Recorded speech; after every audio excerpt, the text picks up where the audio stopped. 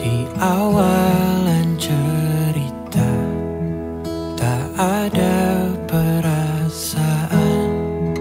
Di antara kita berdua.